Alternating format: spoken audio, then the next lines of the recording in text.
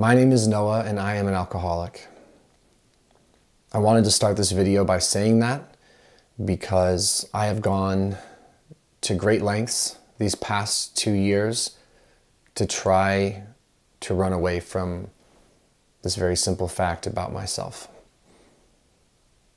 And the result of that has led to a tremendous amount of pain and discomfort and anxiety. It's been a very, very long two years. So, again, my name is Noah and I am an alcoholic. In this video, I want to give you guys a life update.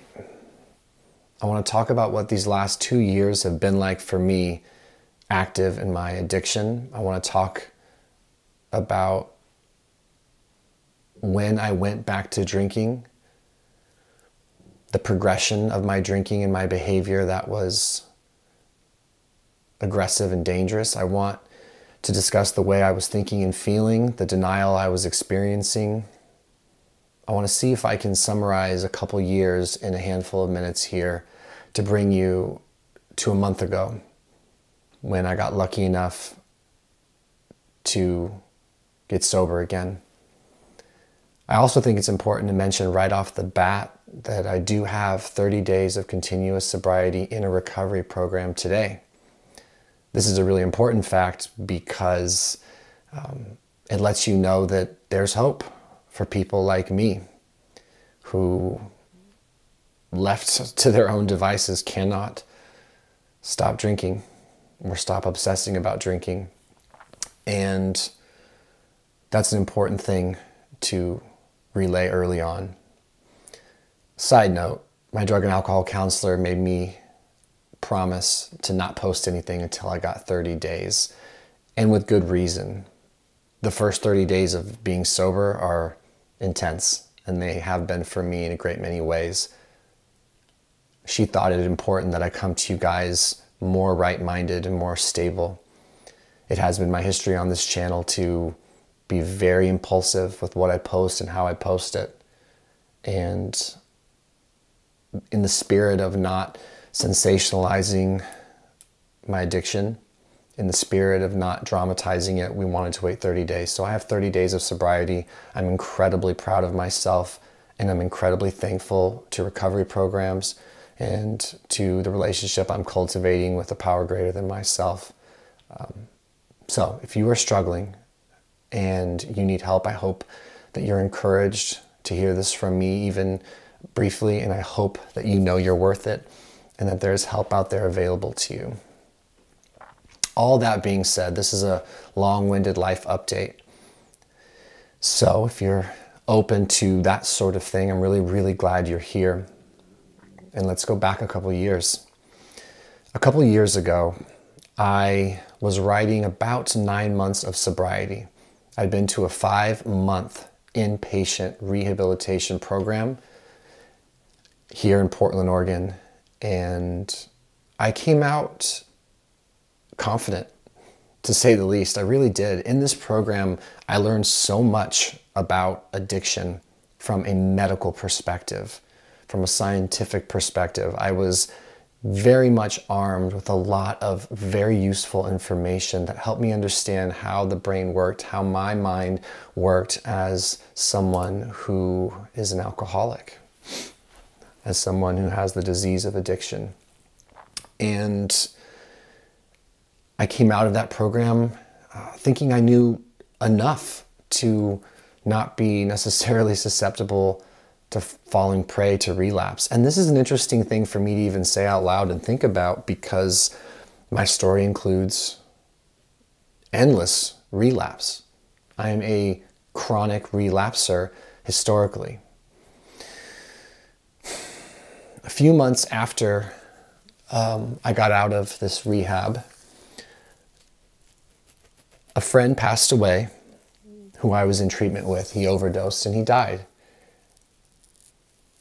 And all that confidence and all that security in my sobriety that I thought I had, it wasn't enough to prevent me from falling into old behaviors. Now, I have so many things I want to talk to you guys about. It's ridiculous. But I'm going to try to keep this video relatively broad with the idea that for those of you that want to remain on this journey with me, we'll dig into some of the details that I think would be most useful to you guys and certainly to myself to express later. But just know that I wasn't ready for such a trigger, such an activating event. And I found myself drunk shortly after that. One of the things that happened when I got um, back into a drinking cycle and a drinking habit is that I wanted to condemn recovery to some extent. I needed to make sense of the fact that I couldn't stay sober.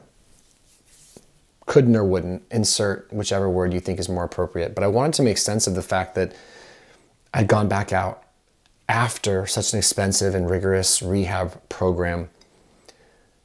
And I did a lot of justification, self justification. I, I, I couldn't live with this idea that I was just incapable of doing the right thing, incapable of staying sober. So I looked for information that was going to validate my experience as someone who continuously drank despite tons of consequences, tons of consequences of, of every sort. And I stumbled across something that really suited me at the time. I stumbled across harm reduction. This isn't really something I'd learned much about, but I stumbled across harm reduction and I found a program by Dr. Adi Jaffe uh, called the Ignited Program. And this is not my video to condemn that program. I know that that program can work for some people. It just didn't work for me. But, but what I did was I latched onto this idea that not all of us are intended to be sober. And that made me feel good. And it made me feel vindicated in my drinking. And I convinced myself to a T or to a degree rather, but really used a lot of energy to convince those around me whom uh, were most concerned, namely the people in my very immediate circle, my wife, my family, my, my closest friends. I used my ability to communicate and to speak and to manipulate to put out this idea that that I was not I was among those that wasn't necessarily meant to be sober, but I could be in this harm reduction program that would push forward healthy life behaviors, a lot of the things I've been learning in rehab. It would encourage those things, but it would no longer see drinking for me personally as good or bad. It would just be this thing. And if I could take some of the sting, some of the weight off of it, then I could focus on the good, not get lost in the bad. And if I drank two, three times a week, but stayed sober, four or five days a week, this is how I framed it in my mind and I really latched on, then I would focus on those sober days and I wouldn't have as much of an emotional response to the drinking days. And this sounded really good for an alcoholic like me. Uh, this sounded really, really good because I got to drink and I get to do recovery and I get to separate myself um, and move further away from the, the recovery community and the, the people that were pursuing complete abstinence from their drug of choice, alcohol being mine. And I loved that idea and I ran with that idea. But I think deep down, immediately I knew that it was bullshit for me. I think I knew that. So I did the online program and I drank less for a time, but I want to really fast forward to the last year. So that first year, kind of enjoyed some of my drinking, but one thing changed right away. Enjoyed is a weird word, but I, I wasn't experiencing a ton of consequences right off the bat. But one of the things that happened right away when I went back to drinking is the obsession to drink. The constant obsession thinking about my alcohol consumption, when I would drink, how much I would drink, how I would navigate my schedule to drink. That happened right away, which is a tall tale sign of classic alcoholism. Normal people don't do that. They don't spend every waking moment thinking about alcohol. I did that from the jump. And um, I pushed that aside. As far as it being a red flag, I, I wasn't prepared or willing to look at that simple reality. Another thing that happened really quickly was that I I kind of was doing this harm reduction so other people could know that I was doing harm reduction. I thought it was a really wonderful talking point for me when people asked, How are you doing? They knew that I went to rehab. They knew that um, I had professed, even here on this platform, how desperate I was, how sick I was, how miserable I was. I've seen that video I posted before rehab this last time, and I've been three times. And there was desperation in my eyes. I was sick. So to go back to drinking and to spend so much energy and effort convincing other people and lying to myself that things were going to be different was insane. Um, but it felt good to say, oh, look, I learned so much. I'm not the same person. I'm doing harm reduction. It's going great. But it never was. And I projected that and used that as my, my front for a couple of years. So let's talk about how my drinking and my behavior as an active drinker progressed. One, I became dishonest very quickly last couple years, and that's old behavior. I started minimizing my drinking and lying about it to people, to my wife, to my friends, my family, my professional relationships, all of it. Um, I immediately was drinking more than I said I was drinking and saying that I was drinking less. I continued to perpetuate the lie that I was working some sort of recovery program. I, like I said, I leveraged the fact that I paid for this really high end ignited program uh, that I did not work. I really did not work. I tried, but I didn't work it because I wanted to drink and I just didn't work it. It, it, it didn't work for me. Um, but my drinking and my lying elevated and advanced. And my drinking went from three or four days a week to like five days a week. And it very quickly matched what my drinking was prior to getting sober.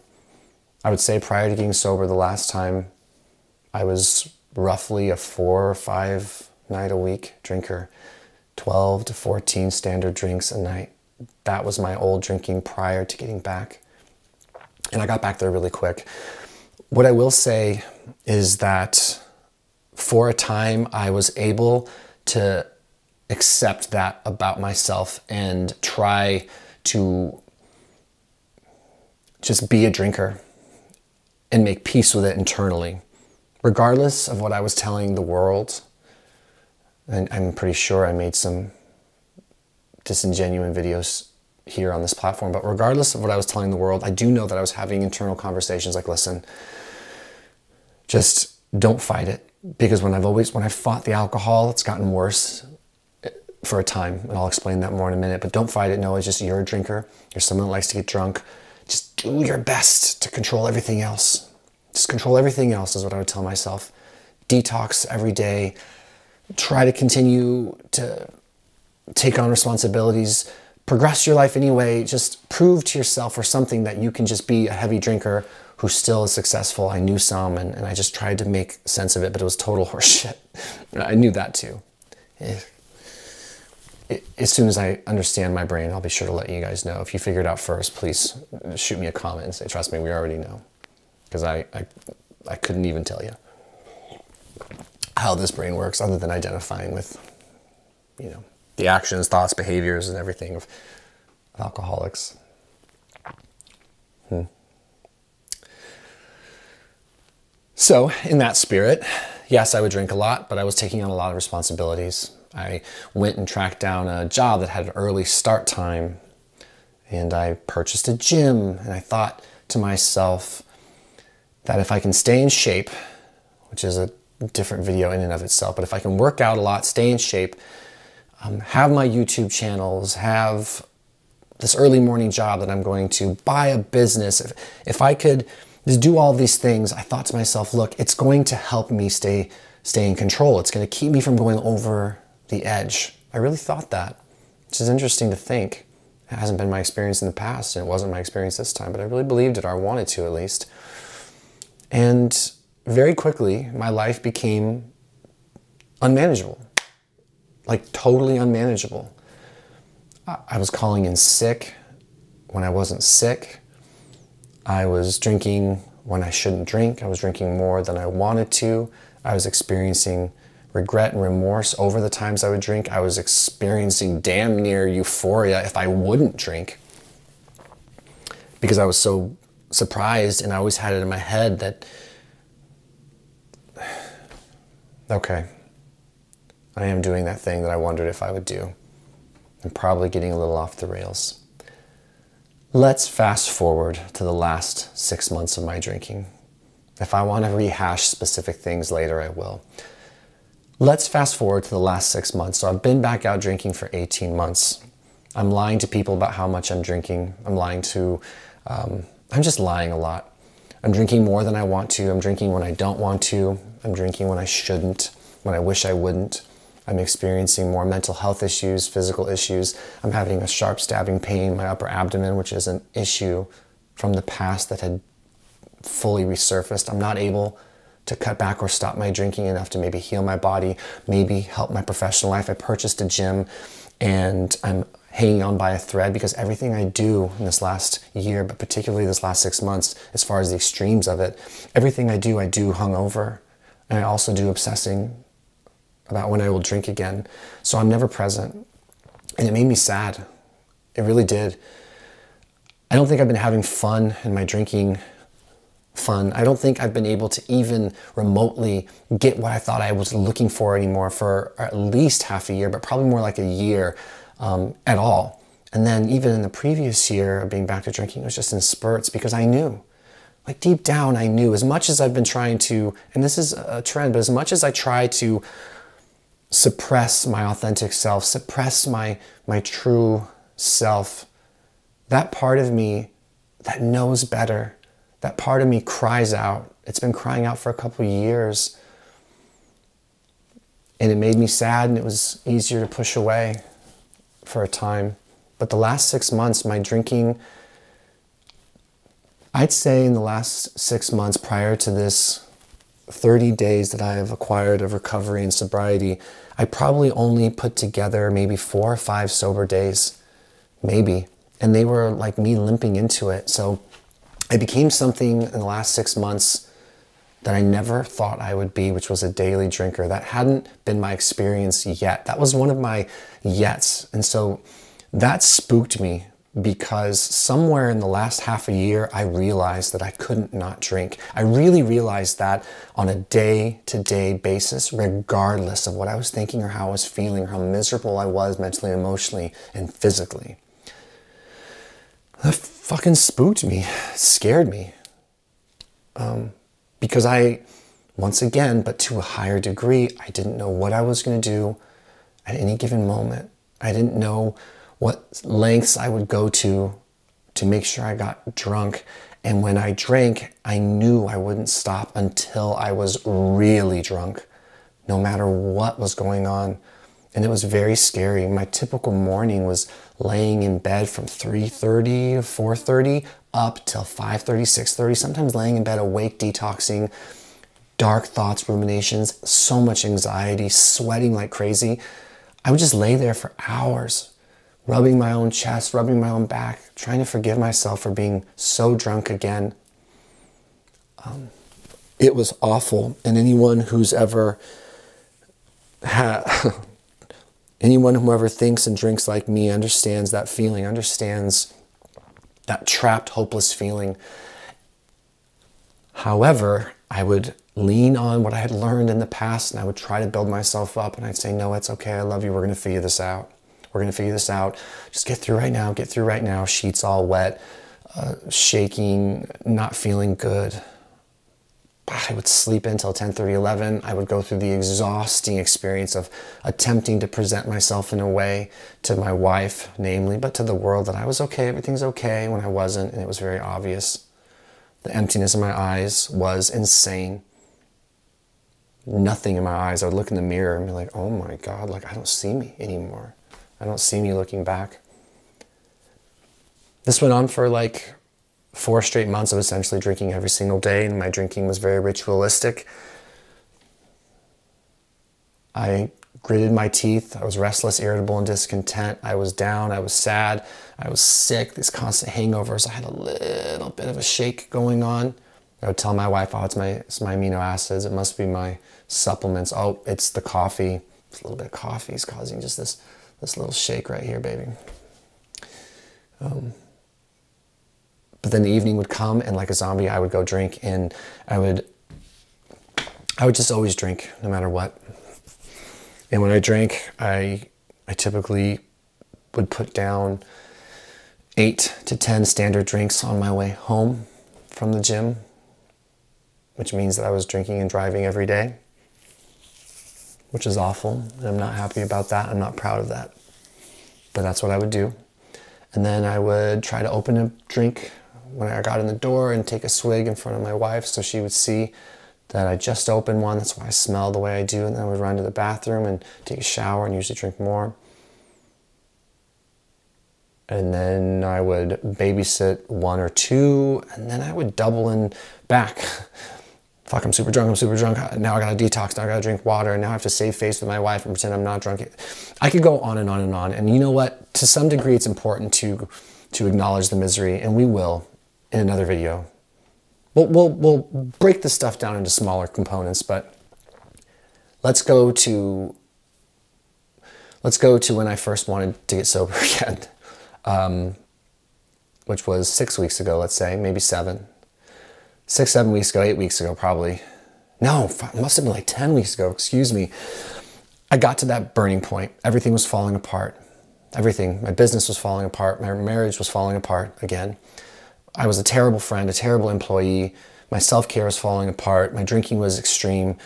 I was freaking out. And I finally started making little comments and letting people know I was freaking out. I finally got honest with one or two people. Like, oh, things aren't going well because I, I was alone.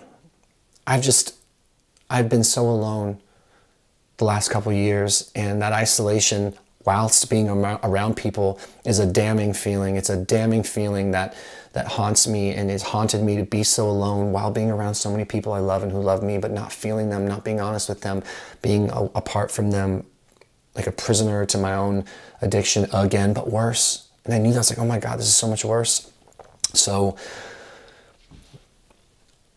so I said I needed help. I drunkenly, or in a drunk state, reached out to a handful of people. I was like, I'm in trouble. I had a couple drunk, deep conversations where I finally said the truth out loud and it felt good. It's like, oh my God, I finally just told someone the truth. Thank God, a couple years of lying.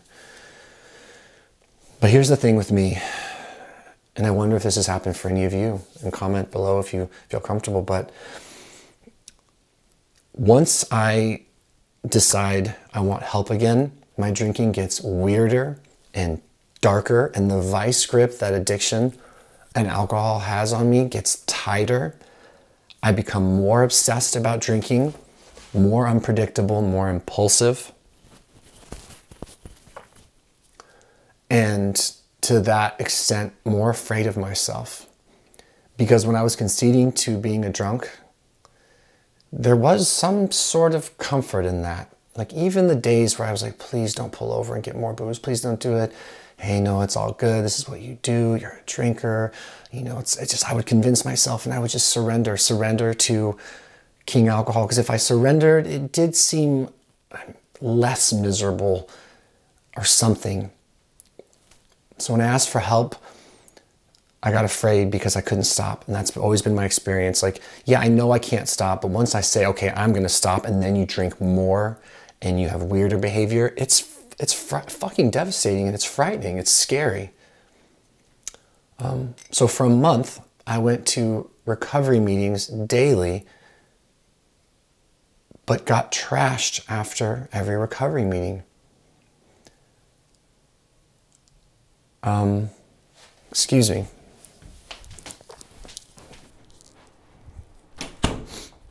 So for months, I went to recovery meetings and just got trashed after the meeting. And emotionally speaking, it's that was extra hard as well because now I'm trying, but now I can't. And then you start having, excuse me, I began to have very familiar haunting thoughts like, oh no, I can't stop. I want to stop. I'm afraid. I'm starting to get afraid for my life because my mental health was doing strange things. My anxiety was reaching peaks it hadn't reached before. My um, detox symptoms were getting worse my hangovers were turning into more like sickness. I, I was chugging um, Dayquil throughout the day and ibuprofen and taking these hot showers, thinking, oh, I'm getting sick. But I was basically just sick every day in a way that felt like the flu. But I'm still drinking and I'm drinking so aggressively and And so I, it was just a freaky month.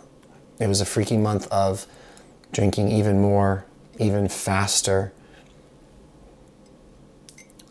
Despite going to recovery meetings and talking to a drug and alcohol counselor and telling my wife I want to get sober, I need help. And then I would just drive home and I'd be drunk by the time I got home. So I had to take things to the next level for me. And one of the ways I do that is, um, is I surrendered my keys and my wallet. Um, and I had them locked away. And I surrendered my phone. No, I kept my phone. It was my keys and my wallet.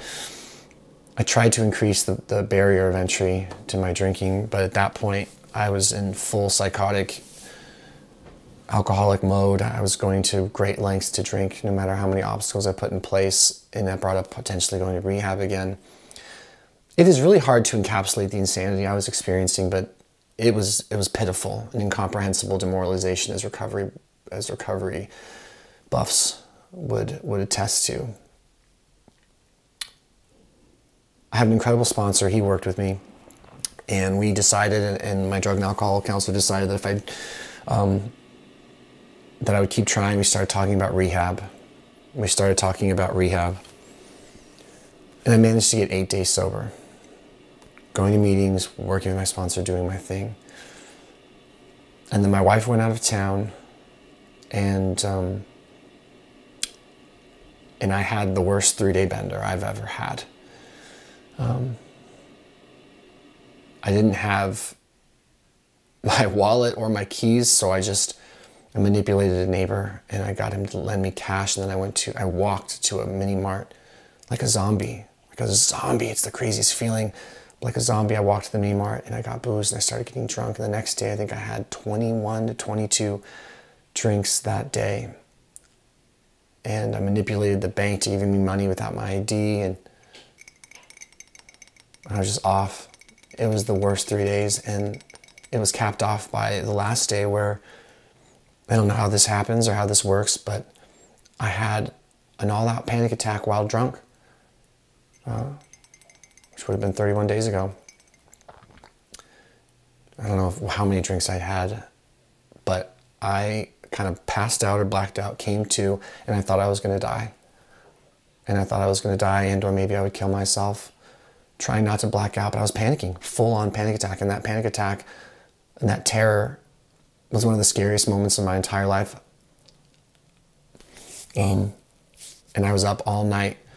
I was taking cold showers, trying not to black out, thinking I'm going to kill myself or I'm going to die if I black out, heart racing, and I barely survived that night. Is how my brain perceives it. I don't know how much real danger I was in, but it, it was it was real to me. It was scary, and and I survived it. And I decided that if I drank again, I was going to rehab. And my drug and alcohol counselor helped me decide that. And then, as broken as I've ever personally felt with my addiction, as broken as I've ever felt, I stumbled into a meeting just so scared and so hopeless. Um, and that was 30 days ago. The first five days were awful. Um, I, I was afraid of my behavior, I was afraid of myself. And then slowly but surely, it's gotten better. Um, and I'm going to talk all about the last 30 days in a different video. And I'm going to share with you everything that's happened um, because I want to focus on that, the, the absolute miracle that I am sober today and I've been sober for 30 days and I haven't had any obsessions or cravings to drink. I've had some major activations. I've worked through some tight little situations, but all in all, in spite of myself, um, and by the grace of the recovery program and in a relationship I'm cultivating with higher power, and then honestly just desperation, just complete and utter desperation. Um, I've been adopting old behaviors I've learned in recovery to a higher degree. And I haven't been drunk every day like I have last couple of years. And it's amazing. And I, I can hardly believe it. Um, it's a big deal For me to get one day was a big deal. It was the hardest one day I'd ever gotten. And it was the hardest two day and three day, and it was the hardest first week. All of it, has been the, the hardest 30 days overall. But I have finally, for the first time in two years, I have felt right with myself. Even when my mental health in these early days have, have, has wavered and been tough, and my fear has been high, because once you have succumbed to your addiction so many times like I have, it it's tremendously hard to feel any hope for me. It's incredibly difficult for me to experience hope for my future because it is just slipped through my fingers so many times. But but I've done what has been suggested as humbly as I can, as faithfully as I can. And I'm 30 days sober and I have hope again. And that hope is invaluable to me on a day to day, moment to moment basis because I lived that hopeless state that addicts and alcoholics live with. And I.